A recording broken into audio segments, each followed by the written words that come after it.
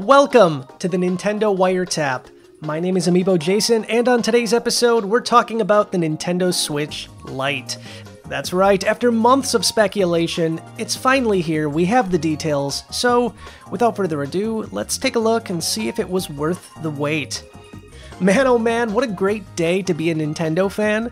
Nothing like waking up early in the morning to the news that Nintendo isn't just releasing a new game, but they're releasing a brand new system. That's right, the Nintendo Switch Lite is confirmed. It's essentially the Nintendo Switch Mini that we have been teased with for months now. There's been leaks, there's been case renders, and in fact, this system was officially leaked all the way back in April, but guess what? Nobody believed it was real. But guess what? It is. So let's take a look at what this thing has, what it doesn't have, and in the end, we're going to decide if it's worth your hard earned money.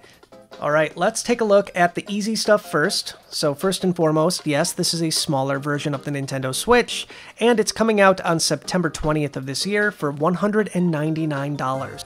That's right, that's a full $100 off the Nintendo Switch price point. But you guys knew all of that already, so let's take a look at the specifications on this thing and see how Nintendo was able to cut 100 bucks off the MSRP. Okay, so like we said before, this is obviously a smaller system, but the specifics are not incredibly crazy when you think about it. So the old Switch was 4 inches high and 9.4 inches long. This new one is 3.6 inches high and 8.2 inches long. So on the width, it's about right around an inch shorter, and on the height, it's right about half an inch, a little bit less actually.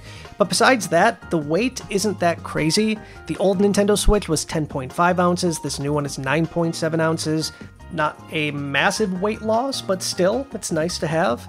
Now, the big thing here is the display size. I know a lot of people were really interested to see what the display on this would be. The rumors were that the Switch Mini was going to get a 1080p display. Sadly, that's not the case here. That's right, the display resolution on this thing is still 720p, but the screen is obviously smaller. The original Switch was 6.2 inches, but the new Nintendo Switch Lite has a 5.5 inch screen.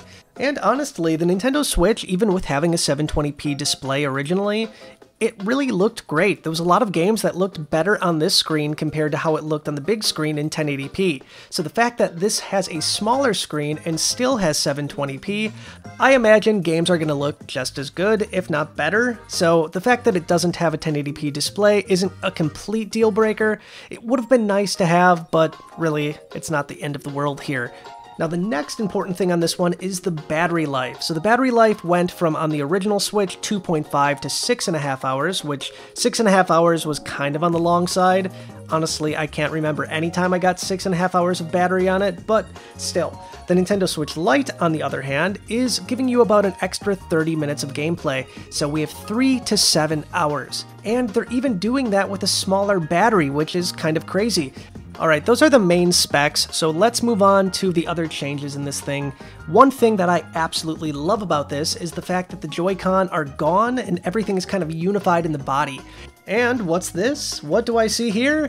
Yes, Finally, Nintendo has brought back the D-pad. The D-pad was one of these things that I wanted so badly officially on the Nintendo Switch. There was companies like Hori that put out a third-party D-pad option, but it wasn't the same. So this is a really, really nice thing to see.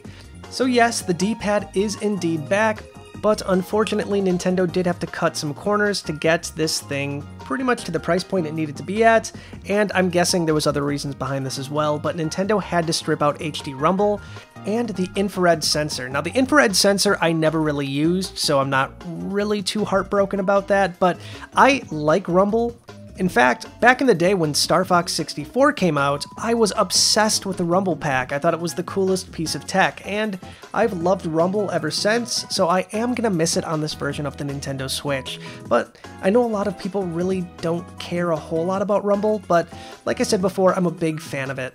Now, one thing that is not missing, thank God, is the NFC touchpad. That's right, Amiibo are still compatible with this version of the Nintendo Switch, and honestly, this was something I was actually really concerned that Nintendo might cut, but it's really nice to see that it is indeed in the Nintendo Switch Lite. So, if you're like me and have a massive amiibo collection, you can rest easy. The Nintendo Switch Lite can take care of all of that for you. Alright, now on to the massive elephant in the room, and that is what this thing can't do. Now obviously the Nintendo Switch got its name because, well, you could switch between having a portable console and a home console, but with the Nintendo Switch Lite, that is not the case. Nintendo has confirmed that this will not support dock play whatsoever, so you can't hook it up to your TV. This thing is completely for portable use only.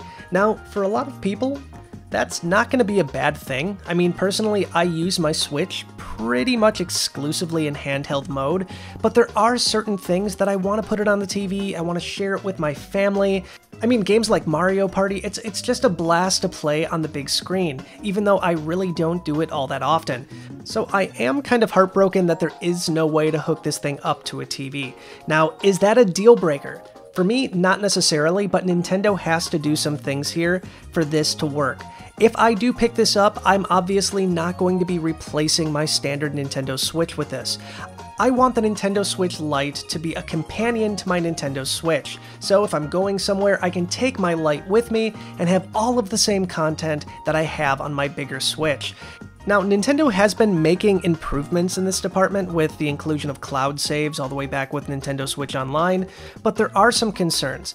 First and foremost, not every game supports cloud saves. For instance, Pokemon doesn't do it, the upcoming Animal Crossing New Horizons is confirmed to not take advantage of cloud saves, and for me, that could be a huge deal breaker. I do want to use the Nintendo Switch Lite for my Animal Crossing town, take it with me, just really enjoy the portable aspect of Animal Crossing, but then, when I get home, I just want to share my town with my family and friends. I want to hook it up on the big screen. Now, if there is a way that I can take the save data from the Nintendo Switch Lite and seamlessly and easily move it over to the full-sized Nintendo Switch, then yes, I am going to pick this thing up. But if that's not an option, it's going to be a major deal breaker for myself, and I know a lot of other Nintendo fans out there too. Alright, next up, let's talk about the colors of this thing. So first and foremost, we have the standard traditional gray, my least favorite. We have turquoise, and a yellow version as well. But that's not all. We have something even cooler here, and this is something that's releasing a little bit later, November 8th, with Pokemon Sword and Shield, and that is the Pokemon Sword and Shield Limited Edition. This thing looks absolutely amazing, and it's giving me a lot of hope for what Nintendo might release in the future.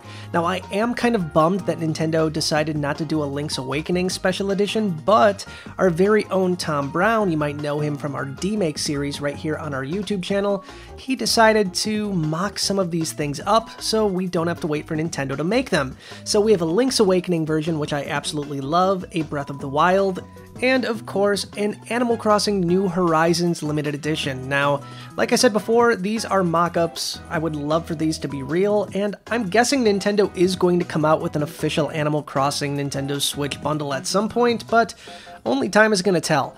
But there you go, that's everything we know so far about the upcoming Nintendo Switch Lite. Like I said before, I have some reservations on this thing. The fact that you can't hook this up to a TV really breaks my heart, but like I said, if Nintendo can do something with their cloud saves to make it more of a companion device than a standalone product, I am going to pick this thing up on day one. But what do you guys think about this? Are you a fan of this design? Do you like the smaller form factor? Are you heartbroken about certain things? Let me know your thoughts on this in the comments down below, and if you're planning on picking one of these up, let us know why. Now, if you do want to pick one of these up, we do have links in the description down below that leads to the placeholder pages that are up right now. Now, at the time of this recording, these have not gone up for sale in any other location other than the UK, but fear not, Nintendo Wire is here for you to let you know the moment these things go in stock, so follow us on Twitter and make sure to turn those notifications on.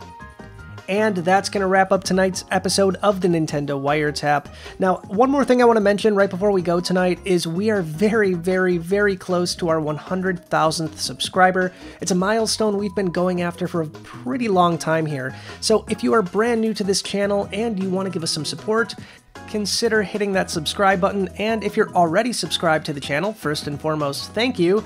But make sure to share this with your friends too to help us hit 100,000 before the end of this year.